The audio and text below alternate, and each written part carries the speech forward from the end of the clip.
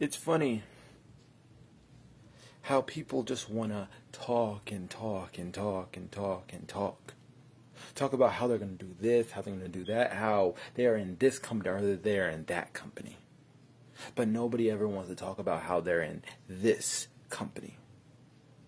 Because regardless of what titles you've held prior to this match, prior to that next match, prior to the match that will come up in a few weeks or the next pay per view, what really matters right now is what's going on today.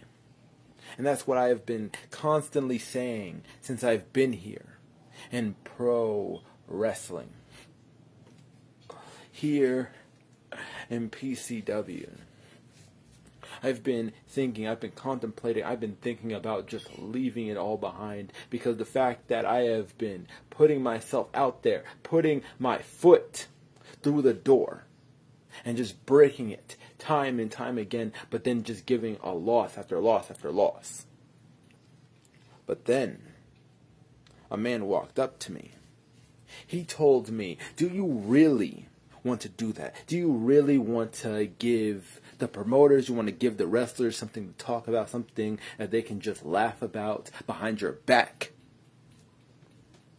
That man was my tag team partner.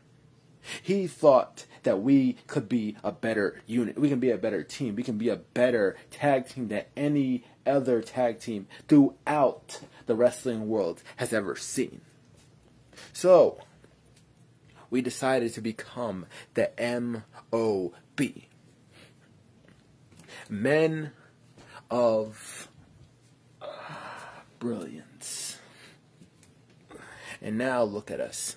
We're going in to this match, this triple threat tag team match to see who is the best tag team, who is going to go for the tag team titles, and who is going to become the greatest faction, the greatest alliance. Well, ladies and gentlemen, sit back and relax because you're going to see a real show when it is done right. Because when it comes to the MOB, we make our opponents, our victims, and our enemies DOA. So, ladies and gentlemen, either you be jealous or just be a lost cause. Because when it comes to us, we don't care anymore. All we care is about the green and truly being better than me. And cut.